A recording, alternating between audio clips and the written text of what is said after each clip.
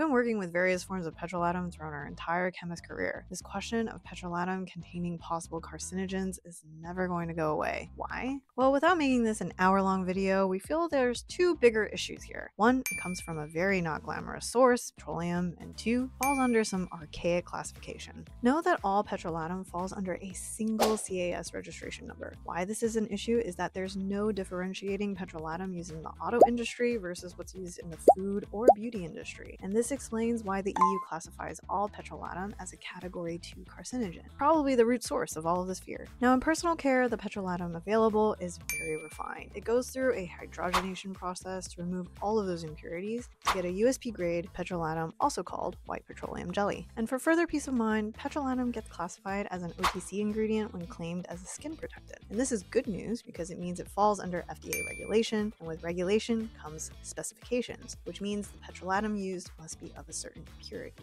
And finally, if you are still worried because some expert out there says you should, know that because of petrolatum's long and turbulent history of repeated scrutiny, this material has been studied by many various international regulation bodies and has yet to find conclusive evidence that these materials would be deemed carcinogenic. And that's way, way more testing than a lot of other skincare ingredients out there. Hope that helped you use petrolatum in confidence because it really is one of the gold standard occlusives. Be ashamed to miss out. Chemist out.